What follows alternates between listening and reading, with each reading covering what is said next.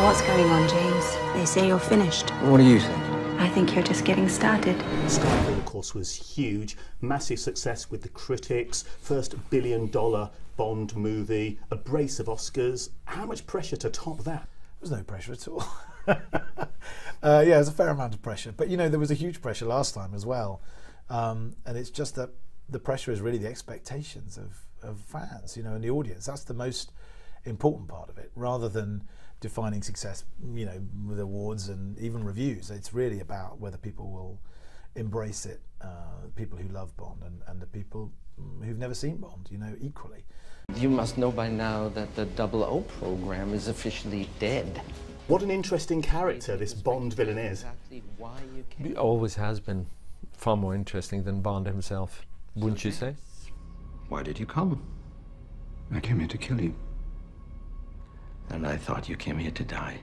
I very strongly believe in, in this in this you know the, you have the leading character and you have the supporting character.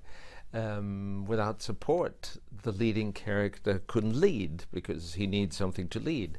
Um, but but it still is um, his adventure. You know, we, we're supposed to we're supposed to root for the hero. Bond as a character in this movie is much more proactive. In Skyfall, he was playing catch up the whole time. From the moment he was shot at the beginning, in a way, he was. It was a. It was a. It was a pretty grim movie for Bond, you know. Mm. And, and, you could argue at the end of Skyfall, he's failed. You know, he hasn't saved M's life. Um, she's died, you know, on his watch.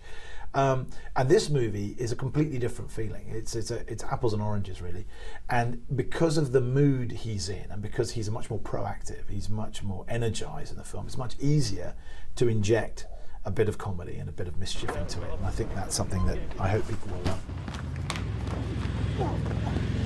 Ever since '62, um, Bond is a fixture of popular culture. Ah, when you say, hmm, uh, Goldfinger, uh, immediately you evoke the era. Or you say, um, you know, Octopussy. You're right there, right in the 70s. You, you, you, you know, you know Roger Moore and, and everything that's connected to it. The title Spectre and so many elements are really mining Bond's past. Mm. How important is that to Bond himself and the audience in a way? Well, I think the game you play with Bond is that you're all aware of the iconography. You know, you're all aware of the parts of the Bond myth. It's it's it's a contemporary myth. You know, that's one of the wonderful things about it. And part of the challenge is to be able to use some of those things from his past in a new and fresh way, to make it both contemporary and classic, to make make it both retro and you know cutting edge if you can. Um, and so for me, the big challenge was to take the big shadows from his past, the big organization from his past, perhaps some of the great figures from his past, the great villains from his past, uh, and knit them into something that felt fresh and new. The last time we spoke here, three years ago, uh, about Skyfall, you said you'd given everything to that movie and you couldn't in any way see yourself coming back to do another Bond film. What was it about this storyline, this cast that drew you back in again? Well, I felt like the MI6 brigade that I'd cast, you know, a new M, a new Q, a new Moneypenny, I felt like they were, you know, I felt possessive about them. You know, I wanted to tell the next stage of their story. But also, I had these two or three other big ideas about drawing all of Bond's, all of Daniel's uh, movies to this one point, to, to creating a supervillain rather than just a villain, you know.